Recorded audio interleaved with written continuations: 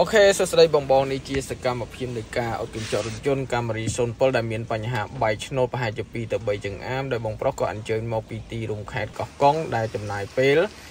អឺផ្លូវ300គីឡូម៉ែត្របងប្អូនឆ្ងាយដែរហ្នឹងហើយដែលភាពជឿជាក់លើសេវាកម្មតារាជំនាញកញ្ចក់រថយន្តបងប្រុសក៏បានជួយមកដល់ទីកន្លែងអ្វីដែលជាពិសេសនោះក៏គាត់ជឿជាក់លើសេវាកម្មតារាជំនាញកញ្ចក់រថយន្តដែលប្រើប្រាស់នៅប្រភេទទឹកថ្នាំដែលមានគុណភាពធន់មាំជាប្រភេទទឹកថ្នាំអាឡម៉ង់សិត100%ធ្វើហើយគឺធន់ជាប់បានយូរមិនងាយនឹងហើរកាវ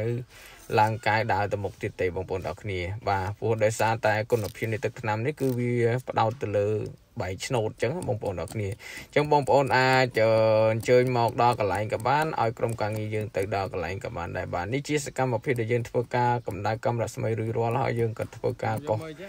កាយចេញបាទឃើញថាសភាពនៃកាយគឺវាមានភាពស្វិតវាមិនមែនជាប្រភេទស្រួយស្រួយទេវាស្វិតមាំហ្មងធន់ជាមួយនឹងកញ្ចក់ដែលវាមានបញ្ហាបែកស្រាមបែបហ្នឹងណាហើយសម្រាប់កញ្ចក់បងប្រុសវិញគឺគាត់មកពីកំពង់សោមហ្នឹងចំពេលព្យុះនិយាយរំពីថាភ្លៀងភ្លៀងមួយថ្ងៃទល់ងាយបងប្អូនអញ្ចឹងកញ្ចក់របស់គាត់គាត់អាចធ្វើទៅវាមិនសូវជាកាត់ស្នាមបានល្អប៉ុន្តែ